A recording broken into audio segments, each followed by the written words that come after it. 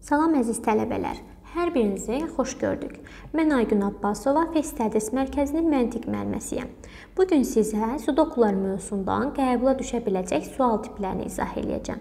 İzaha keçməmişdən əvvəl ekranda gördüyünüz əlaqə nömrəsi olan 077 507 70 80 nömrəsi ilə əlaqə saxlayaraq siz bizim həm ödənişli, həm ödənişsiz dərslərimizdən yararlana bilərsiniz. İndi isə keçək suallarımızın izahına. 43 nömrəli sualda qarşımıza bu formada sual gəldi və müəyyən xanalar rənglidir. Yəni A xanaları və qara xanalar. Demək biz bunlardan istifadə eləyərək cədvəl içərisindəki rəqəmləri almalıyıq. Yəni 2 xanasına birləşik xanalar deyəndə bu xanalar nəzərdə tutulur. Məsəl üçün 12 xanasına birləşik xanalar deyəndə bu xanalar nəzərdə tutulur. Ondan sonra 2 xanasına birləşik ağ xana sayı 2 dənədir. Deməli, 2 ağ, 2-yə birləşik qara xana sayı 1 dənədir. Və 2 ilə 1-dən 2-ni necə almaq olar? Təbii ki, hasil. Yəni bir-birinə vuracağıq ağ xananı qara xanaya. Amma yoxlamaq məqsədi ilə ki, bu düstur doğrudurmu? Ən azı 2-3 versiyanı yoxlamaq lazımdır. Yəni gəlirəm bura 12-nin ətrafında, yəni 12-yə birləşik 1, 2, 3, 4, 5, 6. 6 dənə ağ xana var. 1, 2, 2 dənə qara xana var. Demək, düsturun burada da ödəndi ki, ağ xana sayını vurmalıyam qara xana sayına. Və indi A-nı, B-ni tapmalıyam və şərtdə A üstə gəlinsin, B-ni soruşur. A-ya birləşik A xana sayı 1, 2. 2 dənə A xana var. A-ya birləşik 1 dənə qara xana var. Demək, A-ı qaraya vurdum. A-nın yerində olmalıdır 2. Gəlirəm B xanasına. B-nin ətrafında B-yə birləşik 1, 2, 3. 3 dənə A xana var. 1, 2, 2 dənə qara xana var. Demək, 3-ü 2-yə vuracam. B də olacaq 6. B 6, A da 2 və məndən cəmi soruşur. Cəm olacaq 8. 44 nömrəli sualda şəklə fikir versək, artıq burada 3 rəngdən istifadə olunub. Qara, boz, ağ. Demək, başlayıram 5-in ətrafında 5-ə birləşik. 1 dənə qara xana var. 2 dənə boz xana var. Və 2 dənə A xana var.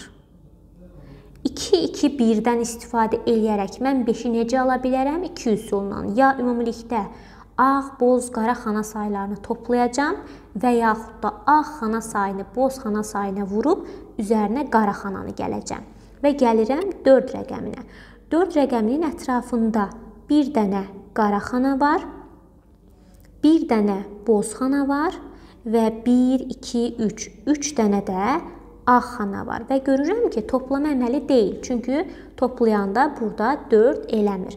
Demək, mənim düsturum bu cədvəl üçün boz xana sayını ağ xana sayına vurub üzərinə qara xana sayını gəlməkdir. Digər rəqəmlərdə yoxlasaz görəcəksiniz ki, doğrudur.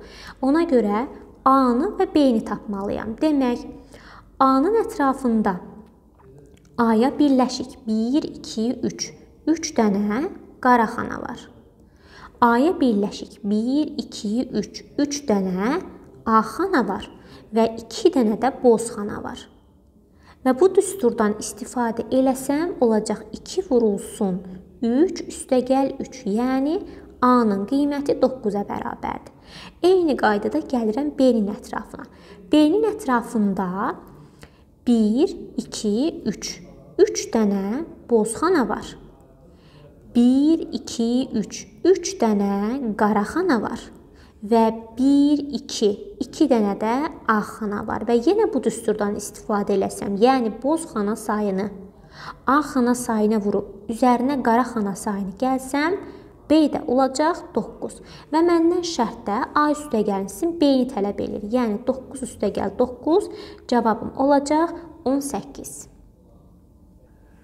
45 nömrəli sualımızda yenə 3 rəngdən istifadə olunub: ağ, boz və qara. Demək, 3-ün ətrafında olan bozxana sayı, yəni 3-ə birləşik bozxana. 2 dənə bozxana var.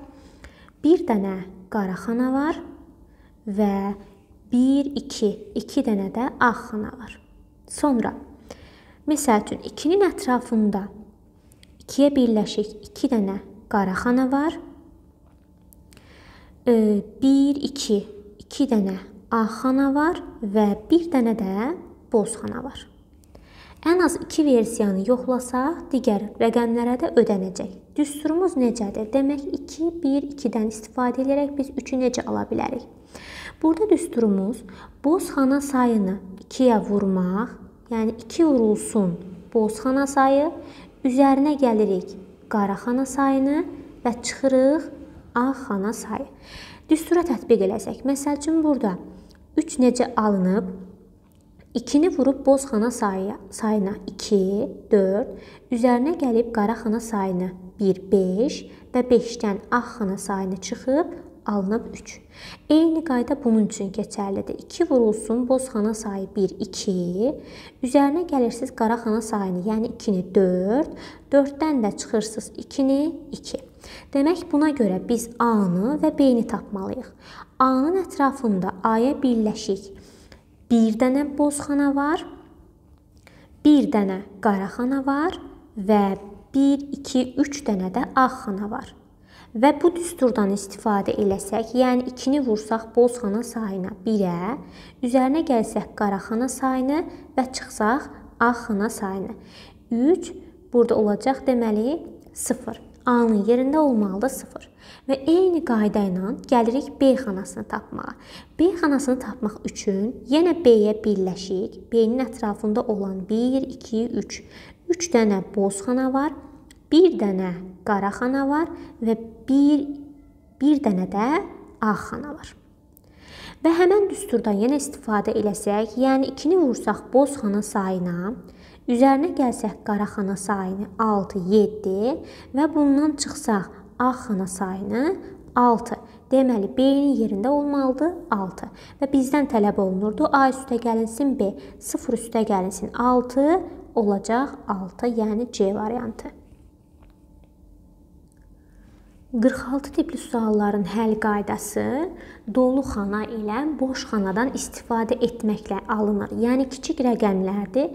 Burada artıq rəqəmləri düzmək deyil, yəni sudoku ilə eyni həll qaydası deyil. Məsəl üçün 6-ya birləşik, boş xana saylar sayına baxırıq. 1 2 3 4 5 6 7. 7 dənə boş xana var. Bir dənə bu 4-ün olduğu xana dolu xanadır. Deməli, bir dənə dolu xana var. 7 ilə 1-dən 6-nı necə ala bilərik? Təbii ki, boş xana sayından dolu xana sayını çıxsaq. Digər ən az 2 versiyada yoxlamaq lazımdır. Gələk bura 0-a. 0-ın ətrafında olan boş xana sayı 1, 2, 3, 4. 4 dənədir. Dolu xana sayı 1, 2, 3, 4. 4 dənədir. Və yenə 4-dən 4-ə çıxsaq 0 cavabı alınacaq. Yəni bu cədvəlimiz üçün düsturumuz boş xana sayından dolu xana sayını çıxmaqdır. Və ona görə həll eləyirəm A-nı, B-ni, C-ni tapıb və ondan sonra hesablayacağam onların cəmini. Demək, A xanasına birləşik boş xanalara baxıram. 1 2 3 4 5. 5 dənə boş xana var. A-ya birləşik 1 2 3 dənə dolu xana var. Və boş xana sayından dolu xana sayını çıxsam nəticə olacaq 2. A-nın yerində olmalıdır 2. Gəlirəm B-yə. B-nin ətrafında boş xana sayı 1 2 3 4 5. 5 dənədir. Dolu xana sayı 1, 2, 3 dənədir. Və yenə B-nin qiyməti olacaq boş xana 5-dən, dolu xana 3-ü çıxmaq, yəni 2. Gəlirəm C-yə. C-nin ətrafında 1, 2, 3, 4, 4 dənə xana boşdur. 1 dənə xana isə doludur. Boş xana sayından dolu xana sayını çıxıram, olacaq 3. Və sonda 2-ni, 2-ni, 3-ü toplamalıyam. Cavab olacaq 7. 48 nömrəli sualda e, rəqəmlərə fikir verirsiniz. Artan ardıcıllıqla gedir və ondan əlavə də təkrarlanmalar yoxdur. Həll qaydası nə formada olacaq? Demək, bu tip suallarda dedik ki, ardıcıl rəqəmlərin düzülməsidir. Hər rəqəmdən bir dəfə istifadə olunur və görürəm ki, 3-cü xanaya 3 qiyməti yazılıb və ardıcıl qiymətləri düzürəm. Sadəcə fikir vermək lazımdır ki, soldan sağa doğru gəldi. İndi isə aşağıda sağdan sola doğru qiymətlər gedəcək. Yəni bizdə bu rəqəmlərin düzülüşü olmalıdır baxın bu formada sətir formasında, yəni sağdan sola, soldan sağa doğru. Həmçinin bunun sütun versiyası da ola bilərdi. Yəni rəqəmlərin düzülüşü artan formada, bu formada da düzülə bilərdi. Və görürəm ki, 15 xanasından sonra gələn 3-cü xananı soruşur məndən.